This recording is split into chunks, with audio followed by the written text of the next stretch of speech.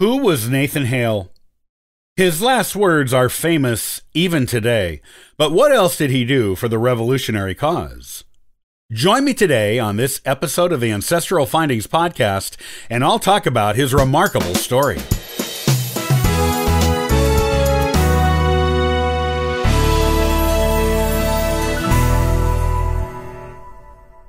I regret that I have but one life to give for my country.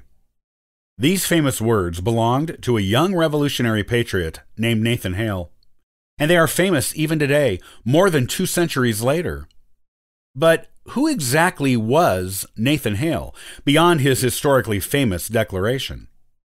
Nathan Hale may be among the most quotable revolutionaries, but there was so much more to him than this one sentence, given during this one moment in time during the Revolution.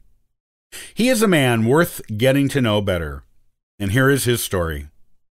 Nathan Hale, June 6, 1755 to September 22, 1776, was an American soldier and spy for the Americans during the American Revolution. He was born in Coventry, Connecticut, to parents Richard Hale and Elizabeth Strong. His family was among the local elite, evidenced by the fact that he was sent to Yale when he was 14. A brother, Enoch, who was 16, was sent to Yale at the same time as Nathan. Only children of elite, usually meaning wealthy and or influential families, went to Harvard and Yale in the 18th century in America, both before and after the Revolution. Nathan had an impressive career at Yale, where he was classmates with a future fellow Patriots spy named Benjamin Tallmadge. Nathan and Enoch were members of the Linonian Society at Yale, which was a group that got together to debate things in such wildly diverse topics as astronomy, literature, math, and ethics, particularly the ethics of slavery, a popular topic of discussion among the New England elite at the time. Nathan graduated with honors when he was 18 and began a career as a teacher, first teaching in East Haddam, Connecticut, and then later in New London, Connecticut. By the time he had been teaching for a couple of years, the American Revolution began, and he volunteered to be a part of Connecticut militia. He performed so well in this role that he was promoted to first lieutenant in his first five months of service. His regiment was part of the American contingent that fought in the siege of Boston, though Hale was not part of the fighting, due to his teaching contract still being active at the time. It kept him in the classroom and from joining his regiment on the battlefield until it ran out a few months later. Hale's friend and former Yale classmate, Benjamin Tallmadge, did not participate in the siege either, but he saw it. After witnessing the siege firsthand, he wrote to Hale. His letter stated Tallmadge's opinion about military service for the American cause. One part Hale found particularly inspiring said, was I in your condition, I think the more extensive service would be my choice. Our holy religion, the honor of our God, a glorious country, and a happy constitution is what we have to defend.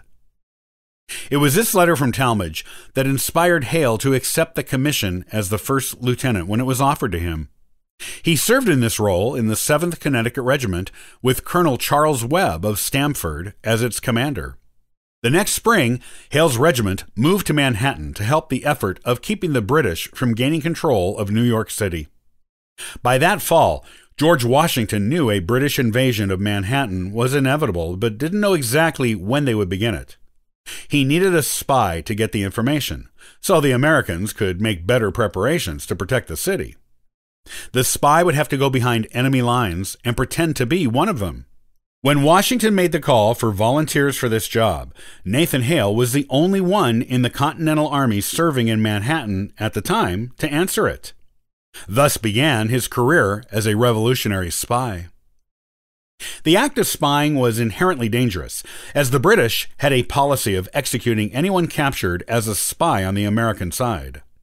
Just volunteering for this mission was an act of supreme bravery on Hale's part and also likely explains why no one else volunteered to do it. Hale didn't get the chance to do much spying as the British invaded New York City and captured it soon after American troops ferried Hale over to the British side of the Hudson River. Washington and his troops were forced to retreat to Harlem Heights.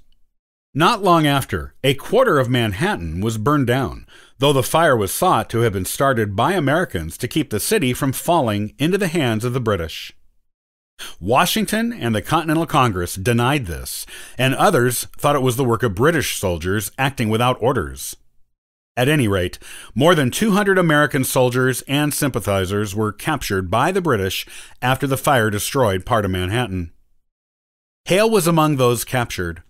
A British soldier saw Hale in a tavern and recognized him as an American soldier he'd met before, despite Hale's disguise. The soldier, Major Robert Rogers, pretended to be a patriot to get Hale to reveal himself, which Hale did. Hale was apprehended near Flushing Bay in Queens and taken to the home of British General William Howe at the Beekman House in rural Manhattan. Howe reportedly questioned Hale, and physical evidence of his spying was found on him. Rogers, the man who lured him into giving away his identity, also provided evidence in the case against Hale. After the questioning, Hale, traditionally, spent the night in a greenhouse at Beekman House and requested both a Bible and a clergyman, though both requests were denied. According to British military standards at the time, spies were to be hanged as illegal combatants. Hale volunteered for the spy mission on September 8, 1776. He was discovered by the British and hanged as a spy on September 22, 1776. He was 21 years old at the time he was hanged. All accounts of Hale's walk to the gallows and the speech he gave upon it indicate he was calm and serene, focused and clear in what he had to say. Before the hanging, he asked for and was given pen and paper, which he used to write a letter to his mother and to a fellow soldier. The exact site of his execution is not known, but four places in Manhattan today claim that distinction. His body was never recovered by his family afterward, and no one knows what the British did with it.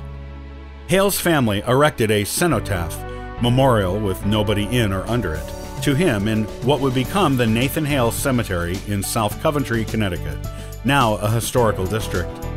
In 1985, Nathan Hale was officially given the title of State Hero of Connecticut.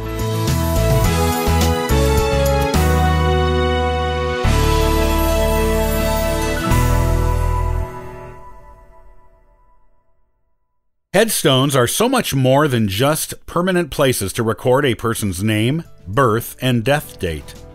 They are little windows into the lives of those ancestors.